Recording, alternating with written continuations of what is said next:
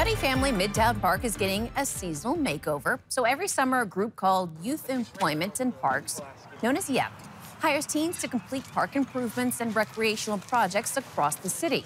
It's a 10-week program by the Muni with projects taking place across Anchorage. So each Monday through Thursday, teens work in the parks, and on Fridays they have a learning and recreational day. YEP serves a first-time job experience for high school students who want to learn new skills. Now in Cuddy Park, Wednesday, that group was building a rain garden and planting native plants. And I think that this kind of job is so much more rewarding and fulfilling than like a like a like a retail job or something because the progress is more linear and you can really see the changes that you're making. And after you're done you can bring all your friends and your family and be like hey look at that. I did that. It's pretty cool and the group will continue working on projects like this one for the rest of the summer